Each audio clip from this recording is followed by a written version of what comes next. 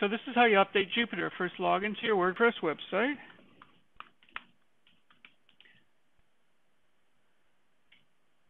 go.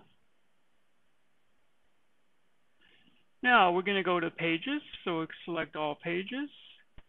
And let's just pick a page. Let's pick About Us. So you want to click on Edit. And here we are. Now what you want to see in Jupiter is classic mode up here, okay? If I click on this, then you're going to see backend editor. So we actually want to be at the backend editor. You can see all this code here. We don't want that. We want to see this interface here. So you can see this is the actual page with all the components. Okay, so you can see when I roll my mouse down here, all these this little edit bar pops up. Now you can move this around right here, the first thing.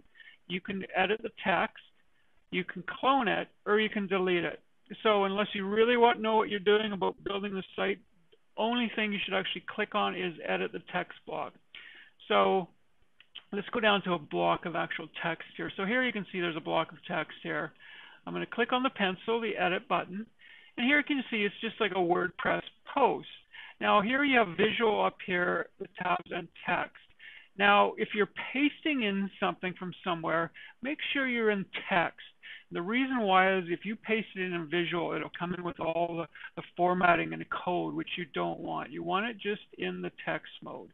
Um, you can edit individually in anything. If I want to change building to something else, I would just highlight it, type it in, change it, highlight the whole thing and change it, or I could just go like this and add to the text. Don't forget after you finish, just hit Save Changes and that's it. And then the last thing you've got to remember to do is up in the top corner here is update. Always click update.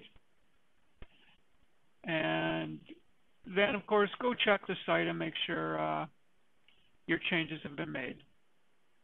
Um, if you're using the WordFence uh, um, performance setup, go to WordFence performance after making all your changes. And you can see I've got a cache, uh, the Falcon engine running here. Just hit clear the cache, and it's going to make sure your changes are made and uh, everything is refreshed. That's a good thing to do. Make sure you do that when you make changes. So let's just go back to the pages if you like. Um, see if I can change something else. Uh, so maybe we'll change an image. Um, look for an image here. There's an image up here. Here we have a logo. All you have to do is go to upload. I can get something from my media library or I can go to my file so I can select the file on my computer. I'm not going to upload this because this is the actual logo. If you want to get out of here, you just hit close. But again, all I did, everything's got an edit area. I just clicked on the edit and here's where I can change the actual image. Okay.